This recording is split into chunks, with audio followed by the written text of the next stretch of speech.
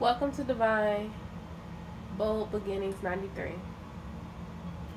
If you hear music in the background, that is my Pandora playing, and that song is called um, White Candle by Tamar Braxton. Um, this is the angel pool for today, you guys. I'm going to do an elaborate Valentine's Day spread. I know a little new setup here.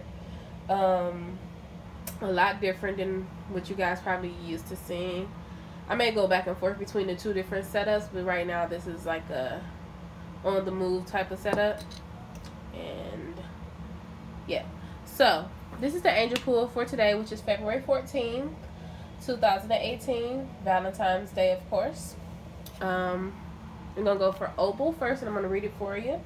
It says, Your children on earth and in heaven are happy and well cared for by God and the angels. So, on earth and in heaven, we thank Angel Opal for being here.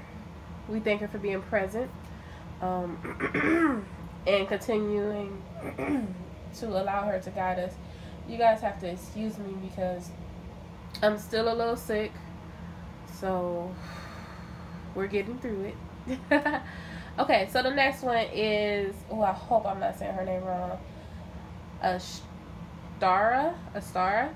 Okay, and it says, You deserve the best. Reach for the stars with your dreams and desires and do not compress. Go for everything you want. Don't give up if the chances get hard, if the times get hard, don't give up.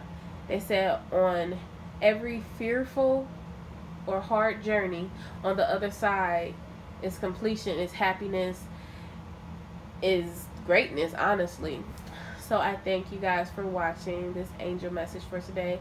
Um, the next video that may go up is a wisdom video. And then the next video after that would be, um, I want to do the Valentine's Day reading, you guys. If you hear the next song that just came on is Emotional Roller Coaster by, I think, Vivian Green. So, have a great day. Again, happy Valentine's Day.